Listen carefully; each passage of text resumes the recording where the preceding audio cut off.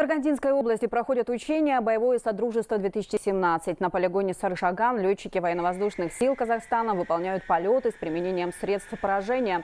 Используются управляемые и неуправляемые ракеты, а также авиационные бомбы. По наземным мишеням летчики производят пуски с истребителей и вертолетов. Учения призваны улучшить боевое применение авиационных средств поражения и повысить боеспособность отечественной армии.